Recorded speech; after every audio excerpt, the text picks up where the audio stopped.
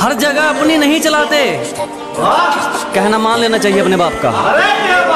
अजी, हर जगह दादागिरी नहीं। कहना मान लेना चाहिए अपने बाप का। कोशिश करें कि हम ना बिगड़े, वरना हुलिया बिगड़ जाएगा आपका।